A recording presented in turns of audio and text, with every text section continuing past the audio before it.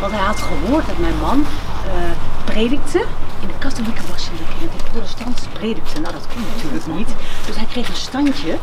En nou ja, eigenlijk kwam hij er nog heel goed vanaf, Robert. Want je kreeg iets van 2000 forijnen en daarmee mocht hij de, de waterstaatskerk. Zeg je dat tegen mij dat ik luider moet spreken? Ga maar even een stap naar achteren. Ja, sorry hoor, maar ik moet meteen even duidelijk zijn.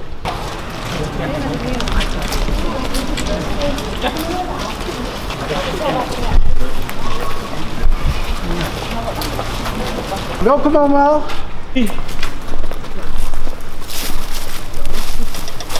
Alle zigeuners zijn muzikanten. Kunt u zien hier ook aan de vi- de viool spelen. Ze woonden in een woonwagen, kunt u zien aan, de, aan het rad wat hier zit. En zodoende werd het hele Romeinse Rijk een christelijk rijk.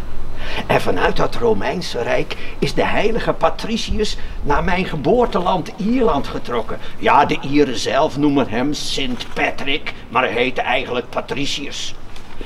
En ja, toen ik hier was, heb ik de mensen verteld. En als je weer een keer wil weten hoe ik dat gedaan heb, dan moeten jullie naar dat raam kijken, dat grote raam.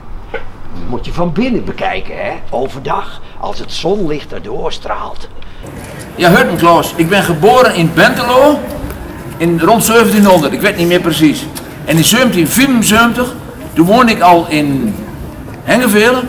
En daar hebben ze mij beticht dat ik iemand vermoord had. Ik zou daar nog meer een, een hebben gehad. En terwijl ik de mensen netjes op bezoek liet komen, konden ze bij mij overnachten. Een, iets drinken, wat roken. Maar ja, mijn vrouw deed het smerig aan en die heeft alles voor mij kapot gemaakt. En toen heb ik opgepakt. En toen hebben ze me naar Oldenzaal geslept. Op een stoel met allemaal stukken ijzer hebben ze erin nou. Ik 114 dagen heb ik hierop gezet.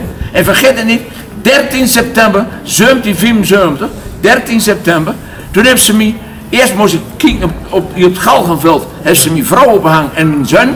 En toen ik dat allemaal gezien heb, hebben ze me naar de markt gebracht. Ik heb nog nooit zoveel volk gehad, van 5000 bezoekers. En toen hebben ze me dat kapot gehouden in 40 minuten tijd. Dat is mijn lijm. Armoe, armoe en nog eens armoe. Hedenavond, op de 14e september, bij het vallen van de donkere ben ik het, godin Tampana. Dit kruispunt van wegen, waar het gonst van het historisch geweld, wordt hier, op deze steen, vonnis geveld.